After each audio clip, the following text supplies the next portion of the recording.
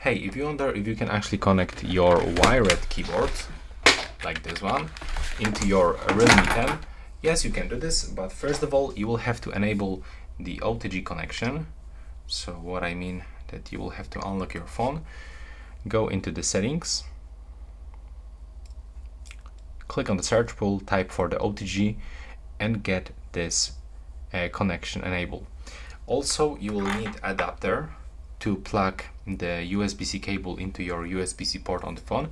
But uh, if your keyboard is actually using the USB-C cable you will be able to connect it straight into your port. But in my case I, ha I have to use this adapter.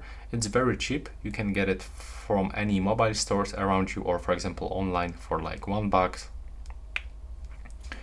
and now uh, we have to uh, we have to connect this this wired cable just right here.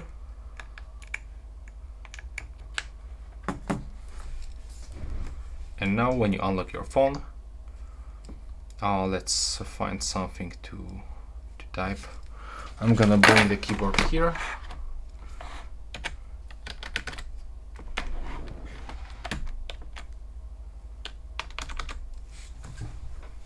Okay it looks like it is not working currently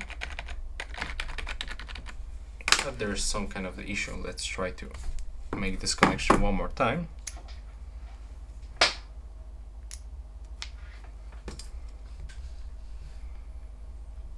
I'm gonna check if this OTG is actually enabled right now.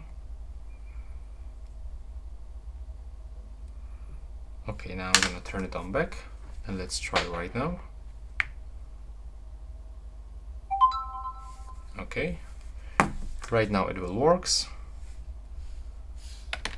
Yeah, as you can see right now, I'm typing on the keyboard and it is actually uh, popping um, just uh, right here. And here also you can as you can as you can see you can switch into the keyboard but also you can show the virtual keyboard and switch uh, between them right here. And that's all right now. Please subscribe to my channel and see you in the next one